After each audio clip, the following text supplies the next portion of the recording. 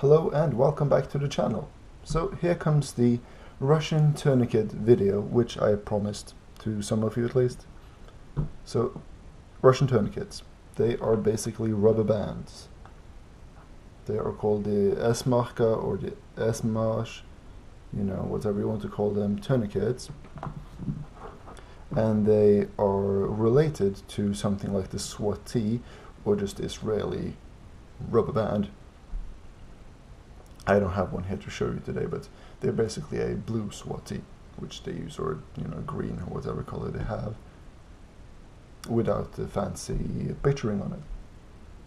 So this is the old model, this is the new model. The new model, which I got at least, comes with a small instruction sheath, how to use it. You can pause here if you want to. And then some additional information and a production date.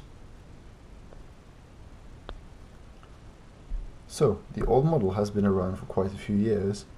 Um, I think I read that it's been around since uh, the Afghan days. So it's, you know, and, and it's still being issued, this model. This model is not so common yet, mm, but it's in use as well. And then uh, I've seen Russian forces using CAT tourniquets and similar as well. The old model and the new model they differ in a few different ways. First of all is the locking system or the attachment system when you finished tensioning it down. The old model has these plastic plugs which you attach to the tourniquet like a belt. Or how I've heard it being recommended is that you just remove these ones and you just tie it off with a knot. The new model has this system which is a uh, bungee cord which goes around and then overloops this part kind of like you would tie off a bandage you know something like that.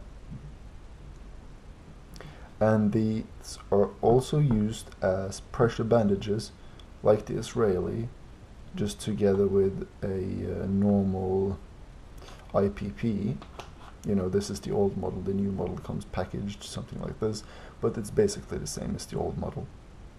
It's a field dressing sort of thing. You know, here's a small Israeli field dressing. It doesn't have the elastic band, it has gauze, but it has two pads, one for an entrance and one for an exit wound. And they also use this packaging as it's sterile on the inside as a chest seal, as you would with the Israeli bandage.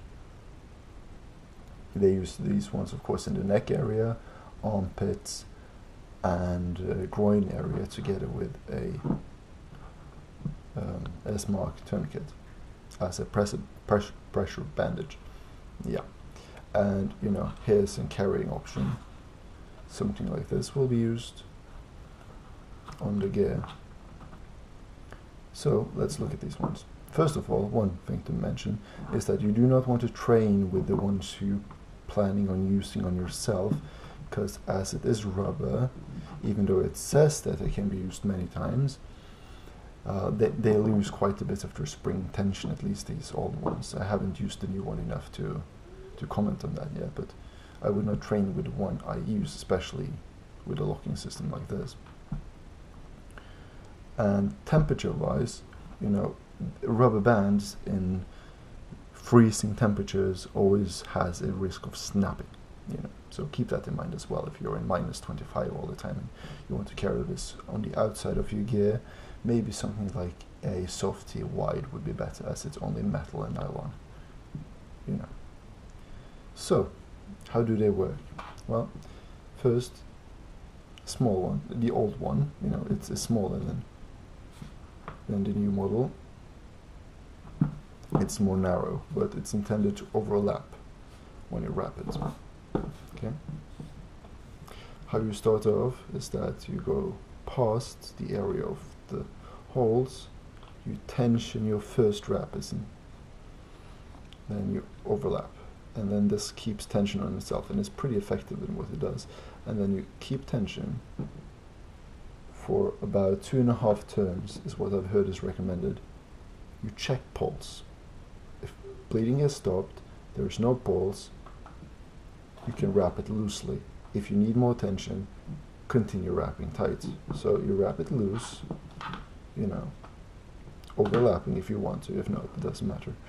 And then you tie it off either by using these plastic attachment points or as recommended by the army is to just use a normal knot tie it off because this is not what keeps the tension. The tension is kept by the rubber band so you just don't want them to flop around.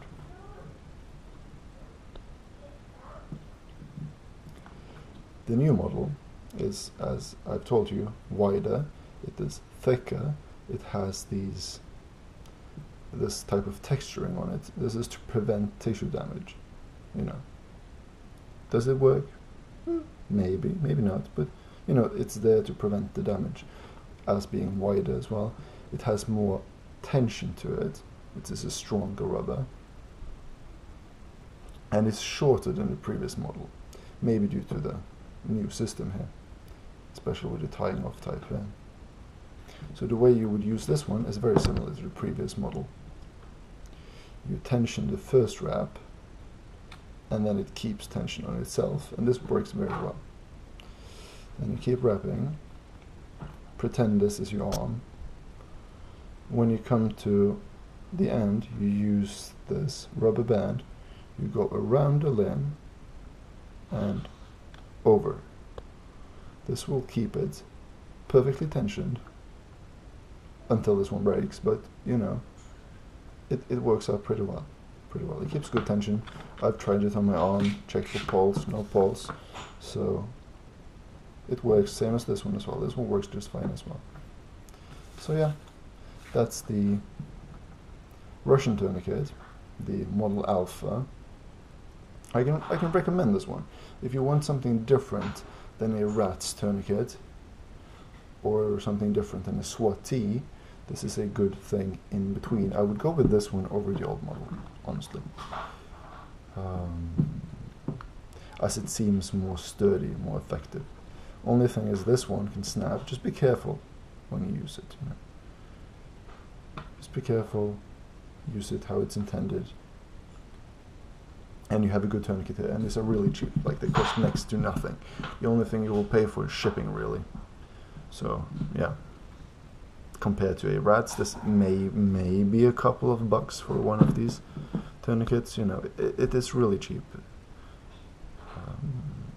so if you find a Russian store which ships to where you live you're not going to pay much for either one of them you might pay for shipping so I paid uh, next next to nothing really I paid about $15 in shipping from Russia uh, from the store which I bought it from but the tourniquet itself I bought some bandages it's pretty much free.